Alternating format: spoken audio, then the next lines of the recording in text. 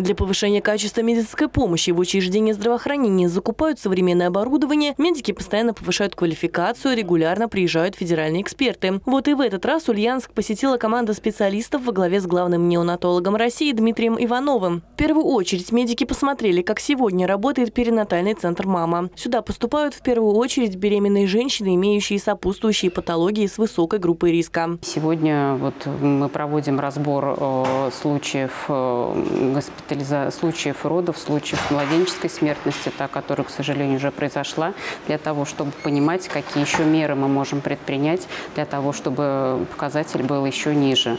И э, эксперты, в том числе, числе и Дмитрий Олегович, выразили согласие на дальнейшее сотрудничество в плане консультативной помощи, организационно-методической, в том числе и для консультаций деток и беременных женщин в федеральном центре. Плюс ко всему, мама входит в структуру многопрофильного детского стационара, а это дает преимущество для пациентов, ведь помощь недоношенным или новорожденным деткам могут оказывать смежные специалисты. Сами мамочки тоже довольны работой местных врачей. Палаты здесь шикарные по сравнению, что раньше было, ну, что сейчас. То есть и душ, и холодильник, и микроволновка, то есть все, все, все условия.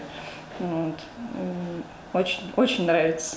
Внимательный персонал, то есть и врачи прям, то есть все внимательно все спрашивают, все расспрашивают, что да как советуют. То есть э, в любое время можно подойти спросить. Задача по снижению младенческой смертности прописана и в майских указах президента. В среднем по стране э, к 2024 году он должен быть 4,5 промилле. То есть это имеется в виду то, что на тысячу живорожденных детей у нас в стране должно умирать не более 4,5 детей.